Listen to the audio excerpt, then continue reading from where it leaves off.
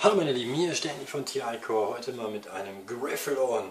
Was ist ein Grifflon? Grifflon ist nichts anderes als ein Hands-on, nur ich benenne es anders, weil ich finde es besser. Also Grifflon Asus VivoTap RT. so, wir sind äh, ein bisschen auf die Daten eingegangen, denke ich mal. Wir schauen gleich genauer die Daten an und ich würde sagen, als erstes schauen wir uns das Ganze kurz an. Wir haben einmal hier dünn und leicht unterwegs äh, Mobil Entertainment, das heißt 3G mit HSP äh, HSPA Plus haben wir hier. Das heißt, ihr könnt zum Beispiel hier, da können wir ja direkt mal ein bisschen rumgucken, hier in diesem kleinen Ding ähm, eure äh, Mikrosim reinstecken. Wir haben halt hier diesen Adapter zum Lösen, das hatten wir ja alles in dem Unboxing, die MicroSD und so, das schauen wir uns nachher alles an. Wir gehen jetzt wirklich nur darauf ein, wie ist das Ding zu bedienen. Eines vorweg, hier ist nicht nur das Windows RT 8 drauf, sondern gestern kam das, äh, gestern oder vorgestern, ich weiß nicht, kam das Update für RT 8.1, also für Windows 8.1 und das gibt es halt hier für dieses Asus ähm, Vivo Set auch. Und ähm, habe ich mir natürlich direkt draufgeknallt. Ich finde, das Ganze reagiert jetzt noch ein bisschen besser, ein bisschen intuitiver auch. Und ähm, ja, wie das ausschaut, ähm, sehen wir gleich. Ist auf jeden Fall eigentlich wie das Windows 8 vorher. Nur ich finde, es reagiert ein bisschen besser. Und äh, ja, der, ähm, äh, der Microsoft Store, der hat sich natürlich auch ein bisschen geändert. Sieht halt optisch auch ein bisschen anders aus. Ja, das halt kurz dazu. Und ich würde sagen, wir starten das ganze Ding jetzt einfach mal. Und dann haben wir hier auch schon den Startbildschirm. Die Uhrzeit haben wir hier 14.35 Uhr, Samstag, 19. Oktober. Akku und WLAN haben wir hier so. Und dann haben wir hier zum Beispiel das äh, Konto von mir. Und äh, da werde ich jetzt mal eben kurz weggehen, weil ihr sollt ja nicht das Passwort und so weiter von mir erfahren. Und äh, ihr gebt das halt ein und zack, schon seid ihr angemeldet. Ihr seht, die Oberfläche ist echt genial. Also das ist das Windows 8. Finde ich für solche Tabs echt super genial. Allerdings für Desktop finde ich das sowas von... Weiß ich nicht, gefällt mir nicht, passt nicht, nein. Tabs okay, wenn du einen Touch-Monitor hast, meinetwegen Fummel dran rum, ist mir egal, aber für Desktop-Bereich ist dieses hier absolut gar nichts. Da gönne ich mir doch eher so diese Variante. Das ist jetzt ähm, die Windows Desktop-Variante. Wir haben hier was im Papierkorb. Ich werde mal eben anklicken. Und wenn ihr ein bisschen länger drauf äh, drückt, dann könnt ihr hier auf Eigenschaften gehen und das Ganze zum Beispiel sofort löschen, anstatt zu verschieben. Übernehmen, okay, weg, raus damit. Äh, Genau, wir wollen den Papierkorb leeren. Ja. So, leer ist er. Äh, jetzt hier kurz zu der Oberfläche. Also ihr seht, das ist wie eine ganz normale Desktop-Oberfläche. Ihr könnt hier die äh, Tastatur direkt einschalten. Die Tastatur selber, die könnt ihr auch in verschiedenen Layouts äh, einstellen. Und da will ich mal kurz was äh, zu sagen. Und zwar haben wir hier, äh, Moment, da muss ich wieder zurück auf die andere Oberfläche. Und zwar gehen wir mal hier jetzt kurz rein in die Einstellung. Da würde ich sagen, gucken wir direkt das erste, also anpassen. Da haben wir hier zum Beispiel den Hintergrund und so weiter. Ihr könnt dann natürlich auch die Farben ändern oder auch von der Akzentfarbe, das heißt von diesen Dingern hier unten, äh, zum Beispiel so. Ich allerdings bevorzuge halt äh, schwarz, deswegen habe ich das so schlicht gelassen. Dann äh, können wir hier die Kacheln ändern, weitere Kacheln anzeigen. Das heißt, wir haben hier jetzt 1, 2, 3 Kacheln. Ähm, ich denke mal, wenn ich jetzt hier so, hier dieses hier zum Beispiel sind so ein paar Spiele, da haben wir 1, 2, 3 Kacheln. Äh, wenn wir jetzt hier drauf gehen und ähm, die Kacheln äh, weiter anzeigen, dann sehen wir 1, 2, 3, 4, also das heißt, er wird äh, auf vier Kacheln erweitert.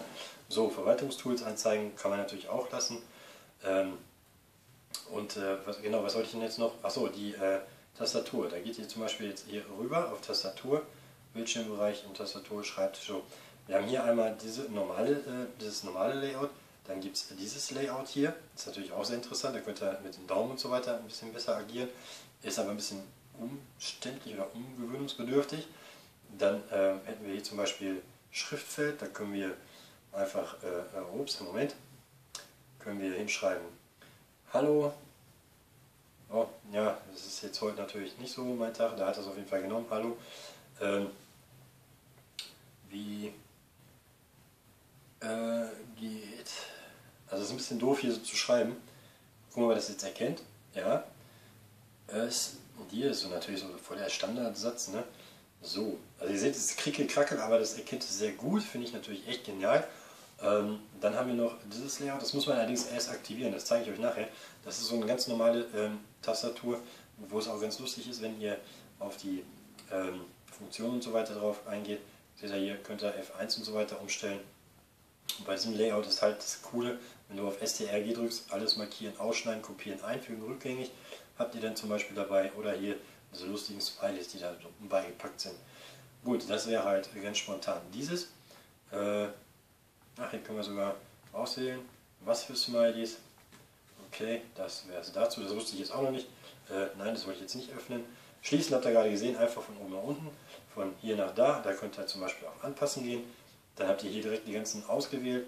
Wenn wir das anklicken, können wir zum Beispiel vom Start lösen. Das heißt, dann ist es raus. Wir können es deinstallieren oder halt auch die Größe ändern von breit, mittel und klein. Mittel wäre halt diese Option. Klein wäre dann noch eine Stufe kleiner, finde ich allerdings ein bisschen sehr klein. Also je nachdem, was man hervorgehoben haben möchte, macht man es halt äh, breit. Allerdings geht das nicht bei jedem. Zum Beispiel bei dem Store hier zum Beispiel Größe ändern, dann können wir es auch ganz groß machen. Also das heißt, dann wird es so groß, wie ihr seht. Finde ich allerdings ein bisschen sehr overdressed, also gehe ich wieder lieber auf breit oder halt, äh, wie ich es eben hatte, auf mittel. Können wir uns gleich auch nochmal gucken. So, ähm, dann gibt es aber natürlich noch hier Karten. Da können wir nur klein und mittel auswählen. Ist natürlich auch ein bisschen schade, aber ähm, ja gut, ich denke mal, die Größe reicht eigentlich. So, weiter äh, würde ich sagen, schauen wir uns mal kurz an hier unten. Da haben wir jetzt die Apps, die zum Beispiel installiert sind. Da sind schon ein paar drauf, ähm, von, also Standard schon drauf. Und äh, einige habe ich natürlich jetzt schon äh, selber dabei gepackt. Und äh, wenn ihr die jetzt zum Beispiel da hochkriegen wollt, dann müsst ihr kurz drücken. Oder halt wie, wie äh, vorhin auch.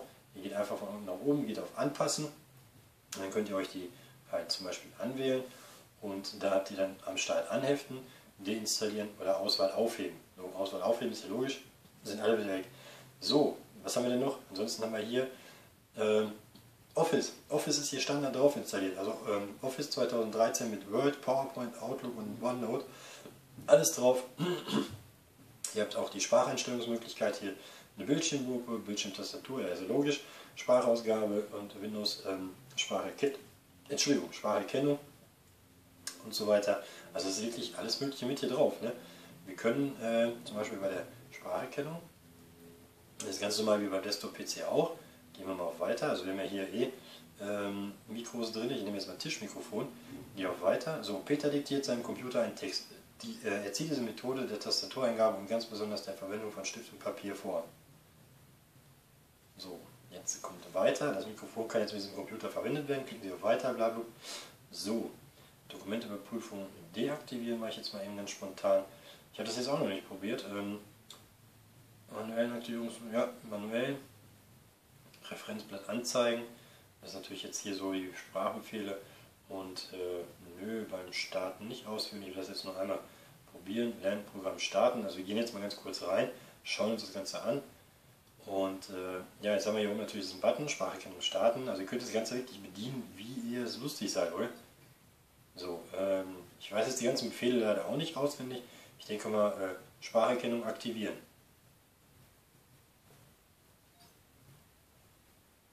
Dies schließen. So, wie ihr seht, das funktioniert ganz gut. Desktop Doppelklick.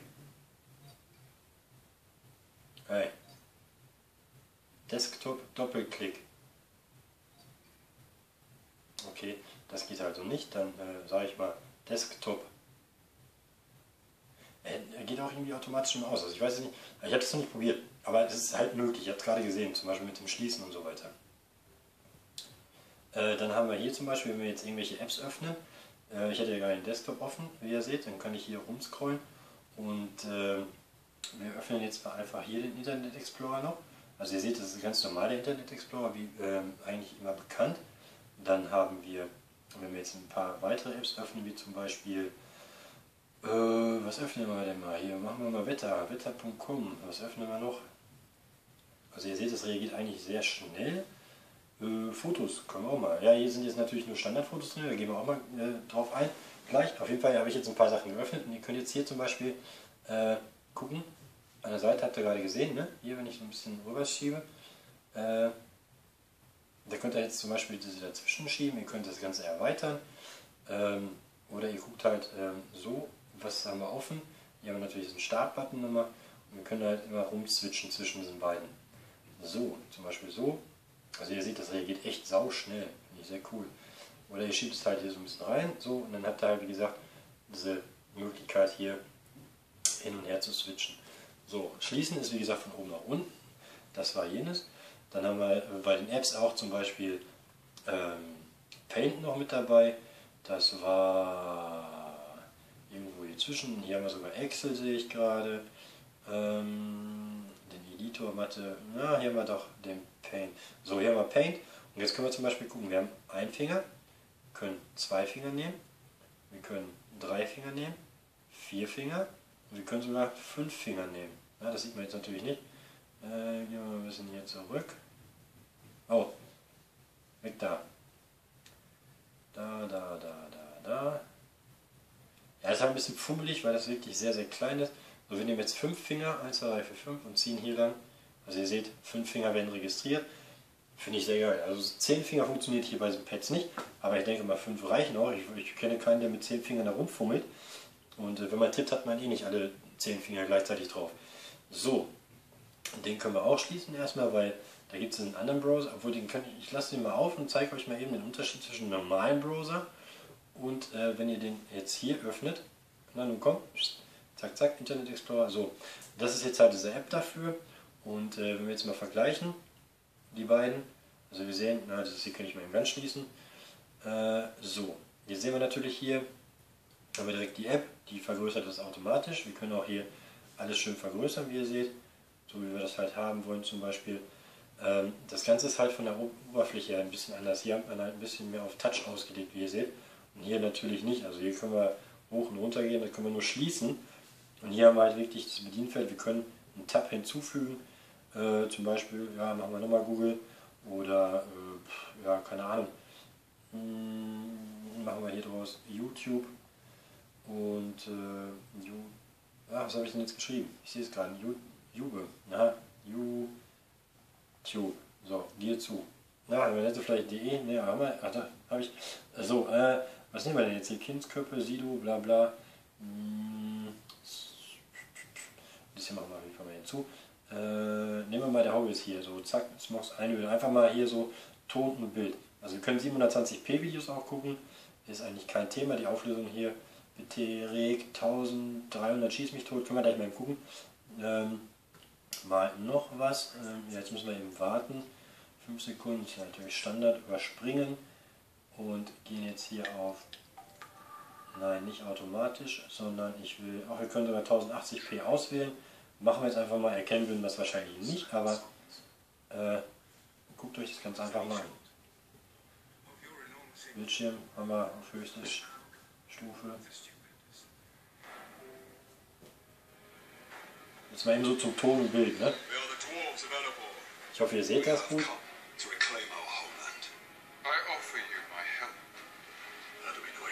IPS Plus Panel ist wirklich auch von der Betrachtung, vom Betrachtungswinkel her echt der Wahnsinn. Also ihr könnt wirklich hier weiß nicht, von allen Seiten her gucken irgendwie, ne? Und ihr seht, es reagiert auch richtig gut. Zack, da wird das Video gedreht und so. Also ist, ich finde es faszinierend. Ich hatte es mal ein bisschen höher. Wenn ihr einfach die Qualität von dem Video seht. Also ich finde es echt Hammer.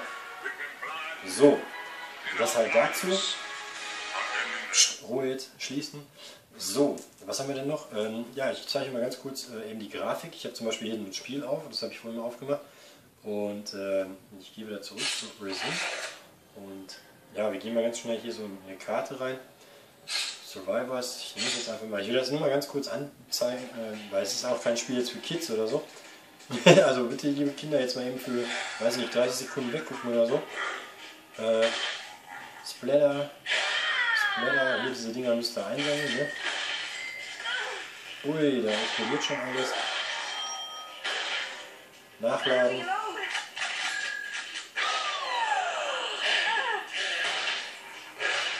Splatter. Also es macht schon Spaß mit den Dingen zu spielen, ne?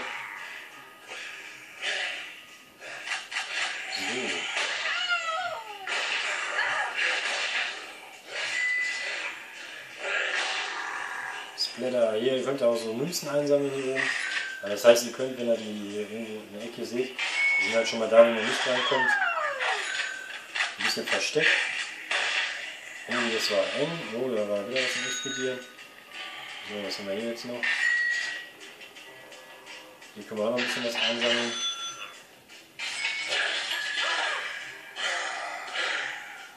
Aber irgendwie schieße ich irgendwie ein bisschen daneben. Zack, zack, zack. Ich, ich halte noch ein bisschen höher, dann könnt ihr die Grafik da auch mal eben sehen. Also ich finde es schon okay. Ne? Also ich weiß nicht, seht ihr das jetzt gescheit? Während des Trockens ist es ein bisschen schwierig.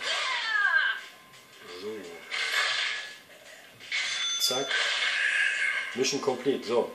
Also hier, wenn es ein paar Sachen eingesammelt sind, dann habt ihr wahrscheinlich gesehen, kriegt man halt hier oben Bonuspunkte. Das ist halt ein, ja, Zombie HQ, keine Ahnung, lustiges Spiel irgendwo so für zwischendurch. War jetzt einfach nur mal so zum Testen. Es gibt natürlich auch noch Spiele, da ist die Grafik noch einen ganzen Tacken besser. So, das dazu. Jetzt kommen wir ganz kurz äh, noch schnell zur Kamera. Und zwar ähm, nehmen wir mal die von Asus. Da haben wir jetzt hier zum Beispiel, mh, hm, ja, nehmen wir das hier. Äh, oder das hier. Ja, wir nehmen das. So, ihr könnt jetzt natürlich äh, einmal die Standard äh, äh, Zoom-Variante nehmen. Das wäre diese zum Beispiel. Ähm, wenn ihr nach oben geht, hier, dann habt ihr natürlich mehr Optionen. Da könnt ihr dann auch noch ein bisschen einstellen, wie zum Beispiel ähm, ja, hier die Helligkeit, Kontrast und so weiter. Also wir können das Ganze jetzt ein bisschen heller stellen hier, was natürlich nicht verkehrt ist. Den Kontrast und den Fokus zum Beispiel würde ich auf automatisch lassen, weil wenn ihr den manuell einstellen wollt, äh, ihr könnt es gerne selber mal gucken. Es ist echt schwierig, also man sieht hier ganz kurz, dann wird er mal scharf, da ist er scharf. Wenn ihr loslasst, dann rutscht er schon wieder und schon ist er wieder verschoben. Also hier wirklich, wie gesagt, würde ich den Autofokus nehmen Tablet in der Größe festzuhalten ist natürlich auch schwierig, aber wie man sieht, es hat geklappt. Ihr könnt dann direkt hier das Foto auswählen. Ähm, ihr habt hier auch in dem VivoTab eine Frontkamera und hier vorne einen Lichtsensor. Ne? Also das ist, äh, gut, hier können wir jetzt natürlich nicht vergrößern, stimmt. Äh, wir können aber jetzt rumswitchen zwischen den Bildern und äh, Videoaufnahme ist eigentlich auch sehr gut, muss ich sagen. Dann können wir jetzt mal eben hier so kurz gucken. So, Aufnahme, wir gehen mal kurz mit der Hand hier drüber, also wie man sieht, Klar schmiert es ein bisschen, aber ansonsten ist die Aufnahme echt Bombe. So, wir gehen auf Stopp und jetzt schließe ich das Ganze mal eben. Dann können wir nämlich auf Fotos gehen und wir sehen jetzt hier Asus Kamera. Da haben wir jetzt dann die ganzen Bilder drinne oder halt auch Video, wie ihr seht. Jetzt einmal dieses Bild hier, das normale, da könnt ihr mal eben gucken. Also ich finde, das ist für ein Tablet eigentlich mehr als ausreichend. Dann könnt ihr hier rüber gehen zu dem anderen. Zack, und das Video auch mal ganz kurz gezeigt.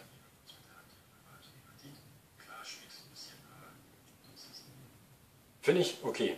Also gut, was ich jetzt gerade festgestellt habe, äh, wurde irgendwie äh, bei 5 Sekunden geschnitten, warum auch immer. Äh, habe ich mich noch nicht so mit beschäftigt. Ähm, jetzt noch ganz schnell zu den anderen Sachen. Und zwar hatte ich ja vorhin gesagt, äh, wegen, den, äh, wegen den Daten zu diesem VivoPad. Ähm, ihr könnt zum Beispiel hingehen und sagen, ähm, dieser PC da, das kennt ihr bestimmt von dem Desktop-Bereich, da habt ihr das ganz normale ähm, ja, Menü halt mit der, mit der Festplatte, wo ihr auch drauf gehen könnt und so weiter. Dann äh, habt ihr zum Beispiel auch Bilder, da die Möglichkeit, Asus-Kamera aufzurufen, zack, und dann hier zum Beispiel auch zum Ranzoomen und so weiter. Aber da geht natürlich die Foto-App an, ganz normal, weil das ist halt alles ineinander verknüpft. So, wir gehen wieder zurück zum Desktop. Ich schließe mal eben diese Fenster hier dieses hier auch. Und äh, jetzt habe ich vergessen, ich wollte nämlich kurz ähm, drauf gehen, ein bisschen länger halten und äh, dann, Moment, eigentlich kommt man doch von hier aus auch genau auf Eigenschaften. Da haben wir es hier schon, so dann haben wir hier stehen Windows RT 8.1, wie ihr das hoffentlich sehen könnt. Ich werde mal kurz ein bisschen höher kommen, ich hoffe man sieht es. Ähm, hier steht natürlich dann Asus Tech Computer Inc. Nvidia Tegra 3 Quad-Core CPU mit 1,3 GHz ist verbaut, 2 GB Arbeitsspeicher, 32-Bit Betriebssystem und äh, das, das ist halt mit den ARM-Prozessoren so, ihr könnt diese 32-Bit Exe-Dateien auf dem RT nicht äh, ja, starten, installieren oder wie auch immer. Das ist halt hier ein bisschen beschnitten. Ich weiß nicht, ob es vielleicht irgendwann noch dazu kommt oder ob man es irgendwo mitmachen kann, habe ich mich noch nicht mit beschäftigt. Haben dann hier natürlich ganz normal wie beim zum Beispiel Laptop die Anzeige, hier ein Datum und so weiter. Also das ist ganz normal der Desktop, den, den man halt irgendwo auch äh, kennt. Wir haben auch ganz normal den Gerätemanager hier, äh, den wahrscheinlich der eine oder andere hm, kennen wird, wo wir halt die ganzen Sachen draufstehen haben. Und äh, ja, ich denke mal, das war es jetzt soweit. Ihr könnt wirklich vieles machen. Wo wir kurz nur darauf eingehen können, ist der ähm, Store hier von Windows, ähm, damit ihr seht, also es sind schon einige Apps vorhanden. Und danach gehen wir mal kurz noch auf die Speicher ein. Und das war es dann eigentlich. Hier haben wir zum Beispiel Asus Tablet Auswahl. Das heißt, von Asus sind so ein paar Sachen vorgeschlagen. Hier für Sie empfohlen. aber auch einige dann neu und angesagt, zum Beispiel top bezahlt, top kostenlos und ähm, ihr könnt dann zum Beispiel da reingehen und irgendwo halt euch die aussuchen. Hier steht zum Beispiel 1000 Apps, was allerdings noch nicht alles ist, weil wenn ihr zum Beispiel nach Apps suchen geht, äh, weiß ich nicht, ich sage jetzt einfach, ich gehe mal Google ein, was gibt es da, Google Search, einfach mal hier so Google ausgewählt, dann passiert folgendes, und zwar haben wir hier 8 Apps gefunden, äh, gut sind natürlich nicht viele, aber äh, ich habe jetzt Google Earth da stehen. Moment, ich werde das mal ändern. Wir nehmen einfach mal nur Google. Ich weiß nicht, was so die meistbesuchte App ist, aber ich denke Google, da wird er wohl ein paar finden. Jetzt haben wir 560 Apps, die alleine irgendwo mit dem Suchbegriff Google zu tun haben. Ähm, Gmaps äh, zum Beispiel, ähm, Google Search hier. Dann können wir hier sortieren nach Kategorie, Spiele, Unterhaltung, bla, bla, nach Preise, halt kostenlos und Testversion und so weiter. Nach Relevanz können wir sortieren und und und. Installieren ist das Ganze ganz einfach. Wir gehen zum Beispiel auf Gmaps habe ich jetzt natürlich schon installiert, allerdings, wenn ihr jetzt hier drauf geht, dann seht ihr zum Beispiel hier so ein paar Infos, ähm, was das Ganze drauf äh, zu tun hat, beziehungsweise was es sein soll. Und äh, hier steht jetzt, diese App ist auf dem PC installiert. Allerdings, wenn es noch nicht installiert ist, dann musst du einfach nur auf Installieren gehen, schon wird es installiert. Das war es halt jetzt schnell dazu.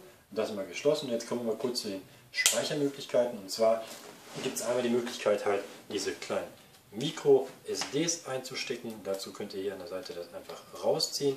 Nehmt euch das und steckt die Micro-SD rein. Dann dauert es kurz, es macht blim blim und er springt direkt auf den Desktop. Also ähm, er springt deswegen jetzt hier auf den Desktop, weil ich habe das Ganze schon angeschlossen und habe gesagt, das machst du dann automatisch. Also geht automatisch in den Desktop rein, aber auch ähm, wenn ihr jetzt in diesem Menü seid hier, erscheint eine kleine Anzeige. Wenn ihr da drauf drückt, könnt ihr halt auswählen, was gemacht werden soll. Also zum Beispiel soll das äh, Speichermedium durchsucht werden oder so. Und äh, ja, das ist halt ganz normal wie beim Windows auch. So, ich werfe die Dinger jetzt nicht aus, weil es eh nichts drauf. Normal könnt ihr das halt ganz normal über die Desktop-Variante machen, wie sonst beim Rechner auch, über unten rechts auswerfen. Jetzt kommt die Frage, ähm, wie geht das zum Beispiel mit dem USB-Stick? Wir haben hier natürlich zum USB-Anschluss da, aber Asus ist nicht doof, die schicken einen Adapter direkt mit, der wird hier unten eingesteckt. Dann schieben wir das Ganze zum Beispiel hier so dran und das ist jetzt Micro SD wieder und zack, er springt wieder auf und zeigt uns das Ganze an. So, und das ist jetzt hier zum Beispiel das, was ich meinte, hier unten auf USB auswerfen. Jetzt kann die Hardware ausgeworfen werden. Zack, um Datenverlust zu vermeiden, der eventuell entstehen kann. Von A-Data habe ich hier einen UE 732 GB Stick, das ist ein äh, 3.0. Den können wir ebenfalls hier anschließen und äh, ja, er springt dann natürlich auch an. So, wir sehen, er blinkt, er arbeitet und ist auch schon offen. Also das Ganze reagiert sehr, sehr schnell, funktioniert auch super gut. Ähm, ihr könnt natürlich auch jetzt hier gucken. Da wird euch dann auch angezeigt, wechselt Datenträger D, 29,3 GB frei von 29,4. Also es ist halt 32 GB, also wissen jeder äh, oder alle, es steht drauf 32 GB, meistens ein bisschen weniger vorhanden, weil zum Beispiel auch irgendwelche Tools noch mit dabei sind und so weiter. So, das wäre es damit. Und jetzt kommt was, was ich selber noch nicht probiert habe, und zwar eine externe Festplatte anzuschließen. Und hier habe ich die A-Data ähm, HE720, da ist 1 Terabyte Speicher drauf. Und lass uns mal schauen, was passiert, wenn wir das Ding anschließen. Ja, man sollte es wahrscheinlich auch dann richtig anschließen. Das wäre nämlich so rum. Zack. So, also leuchtet schon mal. Und jetzt bin ich mal gespannt, was passiert. Aha, dim, dim, dim. Geräteinstallation. Jetzt extra mal eben kurz auf den Button hier. Wir warten mal kurz noch. Also normalerweise, wenn er fertig ist, installiert äh, hat, dann kommt hier dieses Zeichen, aber ich glaube, er hat gerade schon so, er hat es also, schon erkannt. So, und jetzt sehen wir hier, sind schon ein paar Sachen drauf. Ich habe zum Beispiel hier die ABI-Datei. Ich hatte ja von Hitman mal äh, was probiert zu machen. Äh, ich weiß gar nicht, ob das jetzt funktioniert. Äh, machen wir mal ein Video, mal gucken, ob ihr die Datei erkennt. Dann seht ihr auch, es funktioniert wirklich, die Daten von da nach da zu überspielen. Ähm, das ist eine USB 3.0 Festplatte, die ist natürlich abwärtskompatibel auf 2.0, weil ich meine, hier wäre auf jeden Fall nur 2.0 drin gewesen. So, ah, man sieht, so wird ein bisschen, aber es läuft. Hier steht jetzt irgendwas mit Anmelden, ich habe keine Ahnung, was er da macht. Äh, also er hat da gut zu kämpfen, der Kleine. Liegt aber wahrscheinlich auch daran, dass es mit, äh, ich meine, mit Fraps aufgenommen worden. Also es ist, glaube ich, eine etwas größere Datei. Hm, ja gut, jetzt 2 GB. Also dass da ein bisschen Ruckeln drin ist, das kann ich schon mal verstehen. Ähm, aber naja, egal. Hier haben wir noch ein Video. Das können wir auf jeden Fall jetzt erstmal schließen. Es funktioniert auf jeden Fall, wie ihr seht. Und äh, ja, das war das Griffel-On Vivo Tab RT von Asus. Ich hoffe, es hat euch gefallen und äh, in diesem Sinne, ich wünsche euch noch viel Spaß, euer Sterni.